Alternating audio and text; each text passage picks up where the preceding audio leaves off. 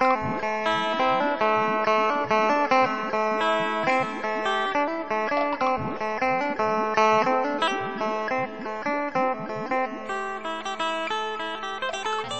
งานกระบือและแรงงานคนรวมพลังหลอมเป็นหนึ่ง ในการปรับพื้นที่นาให้เตรียมความพร้อม ในการเป็นพื้นที่จัดกิจกรรมปลูกวันแม่ เก็บเกี่ยววันพ่อ เพื่อสืบสารประเพณีวิถีชีวิตชาวนาแบบดั้งเดิม ที่มหาวิทยาลัยมหาสารคามได้จัดขึ้น แต่ก่อนเนี้ยเอ่อประชาชนคนไทยเราเนี่ยก็จะใช้ควายไถนาเป็นหลัก แต่ว่าพอมาถึงในยุคปัจจุบันเนี่ยเอ่อเทคโนโลยีมันเปลี่ยนไปเอ่อเครื่องจักรได้เข้ามาแทนนะครับบทบาทของควายก็ลดลง แต่เดี๋ยวทีนี้เดี๋ยวนี้นะครับ เราได้เริ่มเอ่อหมายถึงว่าเปลี่ยนแปลงใหม่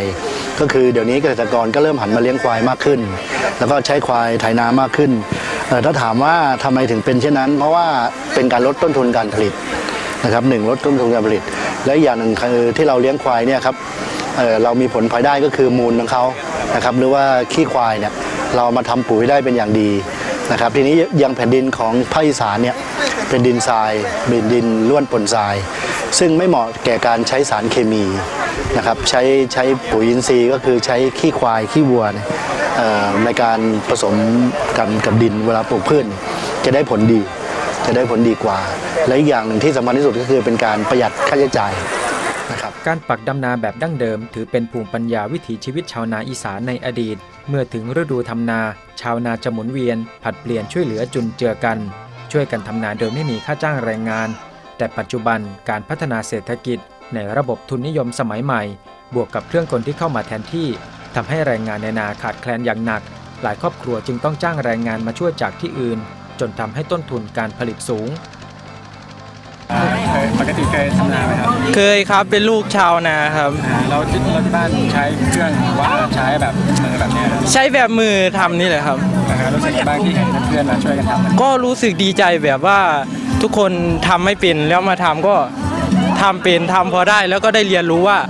คนนำนาเขาเหนื่อยยากแค่ไหนอะไรอย่างนี้จะได้รู้ถึงคุณค่าของข้าว มันเป็นวิถีชีวิตเก่าๆ ที่คนรุ่นหลังควรจะได้เห็น เป็นอะไรที่ไม่เคยทำแล้วทีนี้ได้มาทำก็ได้รู้สึก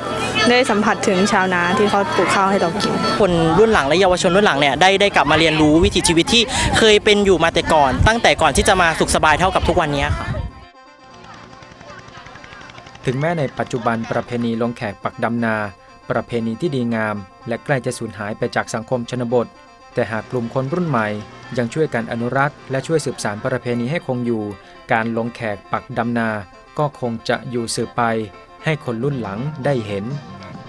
ไตรภพน้อยวิมลถ่ายภาพพงศธรทิพโกมลรายงาน